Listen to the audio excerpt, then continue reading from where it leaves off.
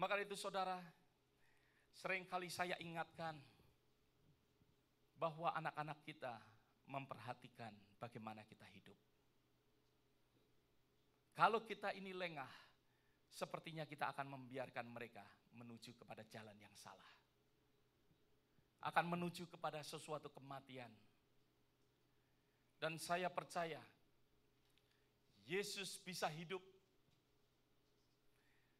selain kehendak daripada Allah. Yesus bisa hidup karena Yusuf menjadi provider, menjadi Bapak yang menyediakan kebutuhan daripada rumah tangga. Ada amin, saudara. Secara singkat, mari kita baca di dalam kitab uh, uh, uh, uh, kitab berapa ini ya? Satu Timotius.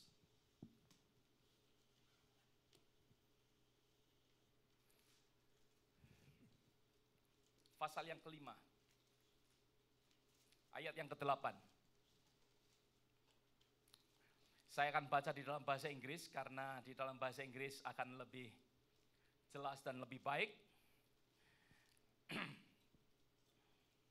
Nanti saya akan baca juga di dalam bahasa Indonesia. Di dalam bahasa Inggrisnya dikatakan, but if anyone does not provide for his own, and especially for those of his household, he has denied the faith and is worse than an unbeliever.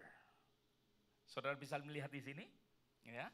Dikatakan di dalam bahasa Indonesia, tetapi jika ada seorang yang tidak memelihara sanak saudaranya, apalagi seisi rumahnya, orang itu murtad dan lebih buruk dari orang yang tidak beriman. Lebih buruk daripada infidel, lebih buruk daripada unbeliever. Orang Kristen, seorang bapak yang tidak menjadi provider bagi rumah tangganya. Listen to me. Perhatikan. Bapak yang tidak menjadi provider bagi rumah tangganya, firman Tuhan katakan dengan jelas, worse than believer. Ada amin saudara. Para bapak katakan amin. Pegang hal ini di dalam kehidupan kita.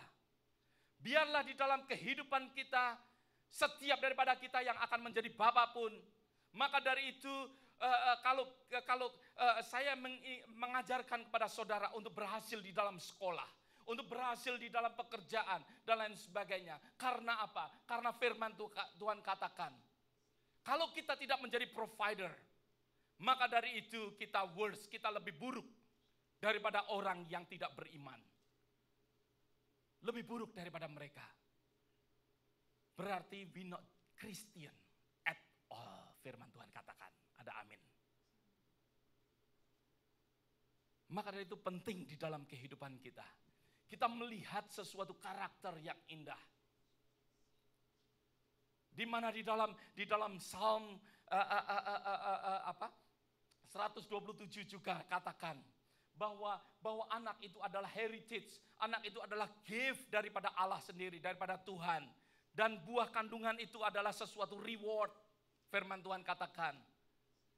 Sesuatu gift yang diberikan oleh Allah untuk kita. Untuk kita boleh memeliharanya. Untuk kita boleh menjaganya. Untuk kita boleh enjoy instead of kita meninggalkan mereka.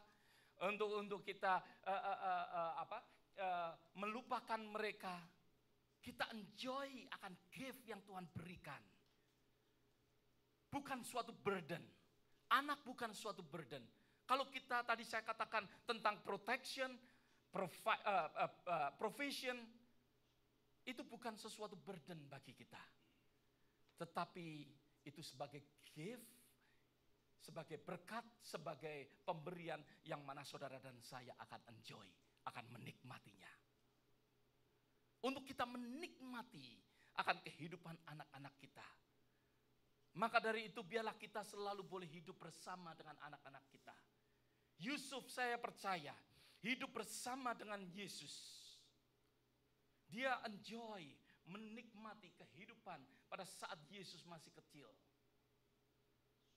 Dia menikmati akan kehidupan daripada Yesus. Saudara, Yusuf penuh kasih sayang.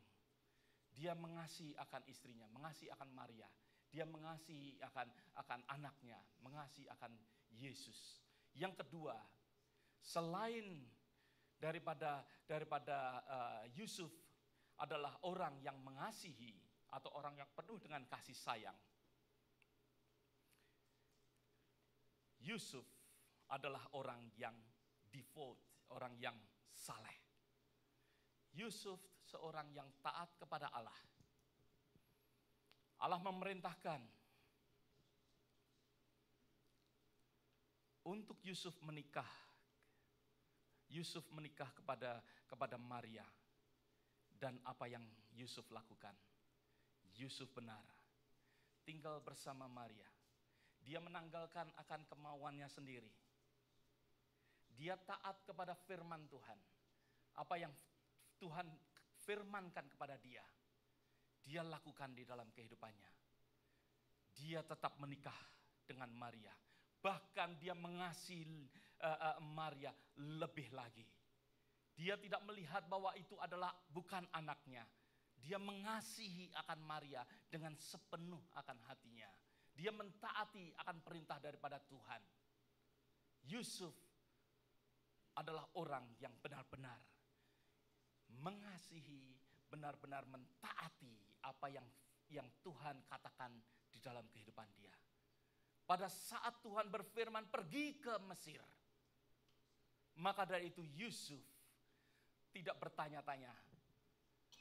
Saudara, orang yang pindah dari satu tempat ke tempat yang lain bukanlah sesuatu sesuatu yang mudah. Ada amin saudara. Maka itu banyak sekali orang yang nggak suka pindah apalagi ya kalau pindah kota masih mudah. Pindah ke luar kota, ke luar negeri.